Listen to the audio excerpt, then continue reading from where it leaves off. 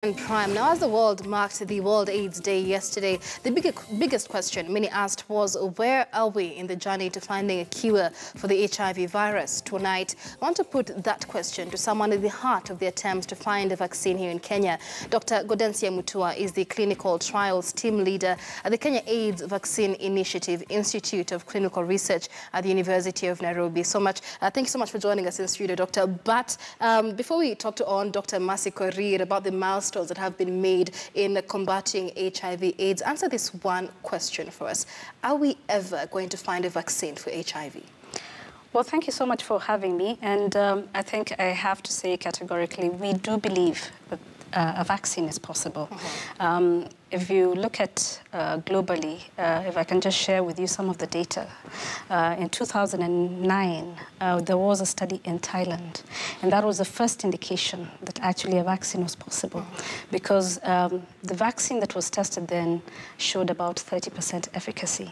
And so what we're doing right now is to try and improve on those findings. So we do believe that if we can improve the way the vaccine is designed, we improve the way it is delivered, we think that it is possible to actually have a vaccine vaccine. All right, we'll be talking about how much more uh, has been made. But let's first listen in to our medical correspondent, uh, Dr. Mercy Korir, on the milestones that have been made. She is on the other side of studio. Dr. Mercy.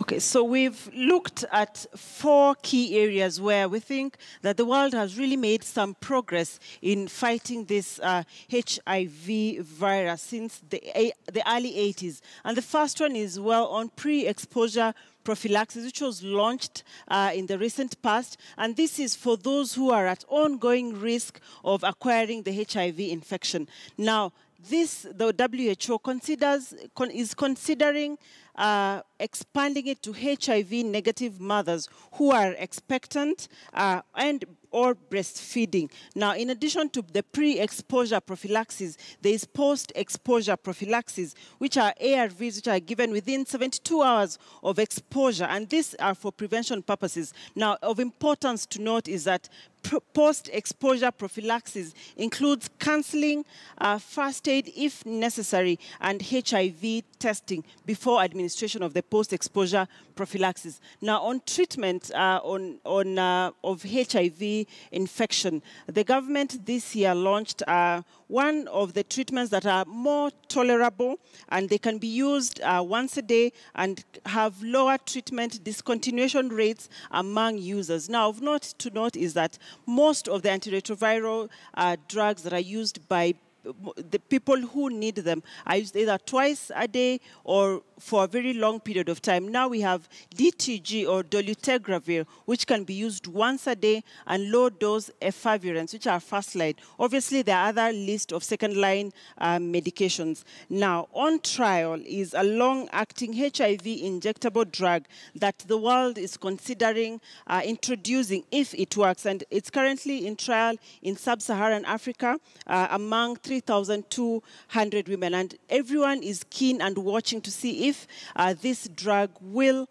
uh, will uh, pass the trial phase and be introduced to the population because this will make really a big difference in treatment of HIV. Now, treatment as prevention. Studies have shown that once somebody adheres to their antiretroviral treatment re regimen as is prescribed, then they have like a 96% uh, there's a reduction by 96% of transmission of the HIV virus. Now, of importance to this is that it means the, the viral load of the people who are taking this medication will be reduced to a level where they are unlikely to transmit the virus. Now, of note here is that uh, antiretroviral therapy does not mean cure, but rather it suppresses uh, the viral replication in the body. Now, lastly, and we have uh, Dr. Mutua in studio to address this, is the issue of vaccines. Everyone has been talking about vaccines if there'll be a vaccine uh, against uh, HIV. And this has been proven a bit difficult to get because of the nature of the virus where it's really uh, variable and it's been really difficult for uh, researchers and uh, to get a vaccine that will actually work against HIV. Now of note is that in the last two days, there's been an introduction of an HIV vaccine trial in Southern Africa. And this is the second concurrent current trial that is being done in Southern Africa to see if at all we'll be able to get any vaccine. Now, Dr. Gaudensia Mutua will be able to tell us where, as a country, we are in uh, trying to get a vaccine against HIV. Michelle. Right, many thanks. That is uh, Dr. Mercy Korir. And here in studio with us is Dr. Gaudensia Mutua. So let's speak more about what uh, Dr. Mercy Korir has been highlighting there. And uh, first on uh, was the issue of uh, pre-exposure prophylaxis, commonly known as PrEP. And this has been seen as um, the new face of HIV uh, prevention, so to speak. Tell us more about how that has worked in combating HIV, especially in Kenya.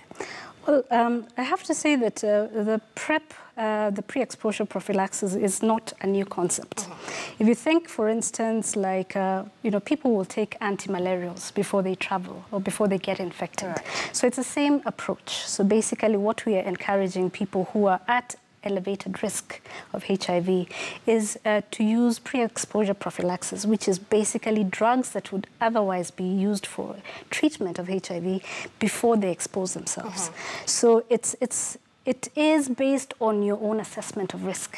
It's not for everyone. Right. So for instance, if you look at discordant couples, for instance, those are people who would really benefit from uh, using pre-exposure prophylaxis. Mm -hmm. Yes. And I'm sure there's been a lot of controversy regarding the use uh, of, uh, of PrEP as well, because uh, like you say, uh, you know, pre-exposure to risk depends on personal judgment as well. Um, there are those who have been said to misuse it, sex workers, for example, uh, taking it on a very um, you know, consistent basis just to prevent um, risky behavior, so to speak? So if you look at um, the guidelines that the government has given, you know, pre-exposure prophylaxis is supposed to go hand in hand with counseling. Uh -huh adherence counseling so that they use it as uh, is required, right. but also risk reduction counseling. So it's not supposed to be a replacement for the risk reduction counseling that really is important in reducing the, the risk of infection. Uh -huh. uh, there was word from the uh, World Health Organization that this was to be expanded to HIV negative women. Why is that? Uh, again, you need to look at um, our epidemic. Oh. Uh, if you look at our epidemic, even in Kenya... HIV negative women who are expectant, sorry. Well, because, uh, I'm sorry, uh, HIV infected? It, it, it is a myth out there that uh, PrEP is also to be used uh, by women who are pregnant women who are HIV negative to reduce risks of trans transmitting uh, possible disease to the baby. Uh, well, the, what is available for HIV negative women -huh. is uh-huh. pre-exposure prophylaxis. The, the treatment that is available for those who are positive uh, is um, the prevention to, from mother to child. Right. So that's a different, that might be a different angle. -huh. But for young women, we do know that um, HIV HIV among uh, women between 15 to 24 years is the risk is extremely high. Right. So we are targeting such women uh, for, for prevention mm -hmm. if the, their lifestyle suggests that they require pre-exposure prophylaxis. All right. And of course, uh, when it comes to treatment, there is treatment also being used as prevention. So those who find themselves uh, HIV positive get themselves on treatment to prevent or reduce the risk of even uh, spreading the disease to others. How is this working, uh, especially in terms of access to medical care? Well, uh, like Mercy has, has indicated, um, if you're on treatment and you're well controlled, then the risk uh, of transmission is reduced by 96%. Right. So what government has, um, has now moved forward with is to really say that people need to be started on treatment when they're diagnosed. And that's different from the previous uh, guidelines, uh -huh. where we used to wait until a certain cutoff, in which case, you know, we would wait until the immune system has reduced.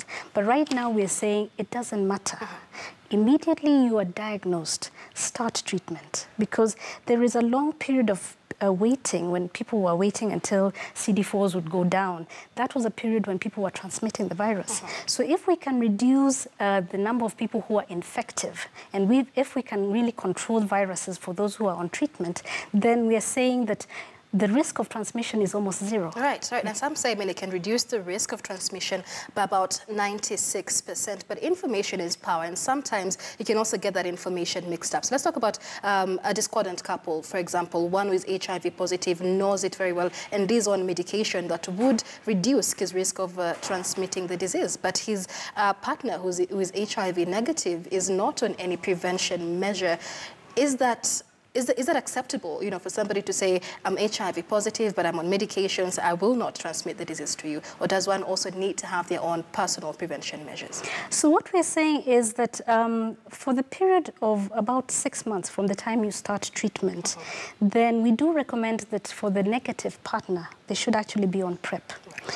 We estimate that within six months, uh, that the person, if they're taking drugs consistently, they should have reduced their viruses to almost 0 uh -huh. or at least undetect undetectable levels. Right. So um, there is a period of risk when you're initiating treatment. And that is a period when we en encourage the negative partner uh -huh. to uh-huh. actually be on PrEP. Right. But after that season of risk, then they can move forward and just have the person regularly be tested. Uh -huh and to make sure that the viral loads are actually below undetectable levels. Right. And of course, there's a lot of trial vaccines uh, that uh, have been in, in, in the offing, uh, but among the most um, I would say the most successful measures of prevention has been the mother-to-child prevention of HIV, and Kenya has seen a lot of milestones in that. How far have we come?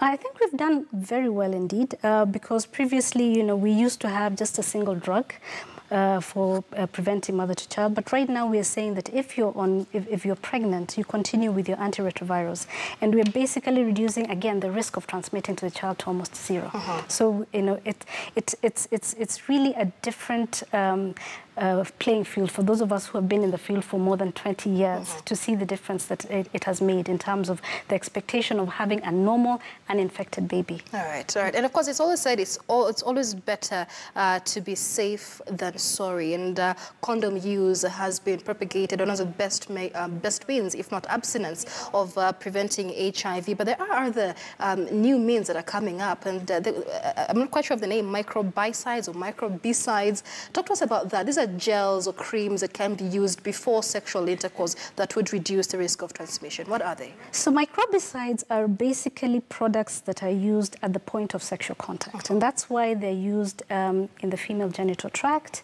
And occasionally also there, there, are some that are being prepared for, for use in the anal -huh. and the rectum.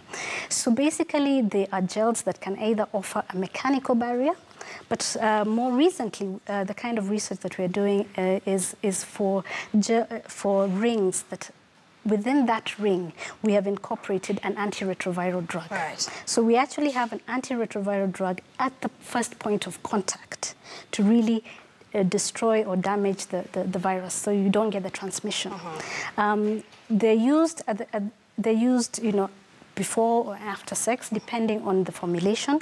But uh, the, the, the, research right now is heading towards more long-acting antiretrovirals so that you actually have it in place mm -hmm. for a longer period of time. You don't have it, it doesn't have to be uh, directly related to sexual activity. Mm -hmm. uh, because one of the things that has been a challenge is adherence.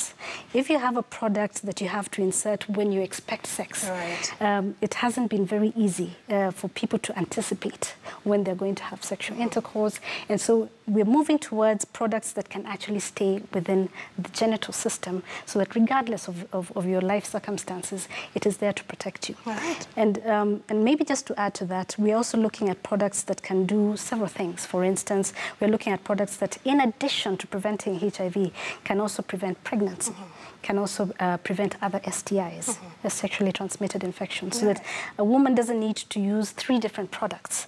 We can have one product that actually addresses all the three needs. All right, those are uh, good measures in terms of combating HIV. And of course, we keep very optimistic that there will be a possible cure or possible vaccine in the near future. Many thanks for speaking to us. That is uh, Dr. Gaudensia Mutua, who is a principal investigator at the Kavi Institute of Clinical Research, bringing us to our second break here on KTN Weekend Prime. Stay with us. Still to come, Health Digest just and other news making headlines.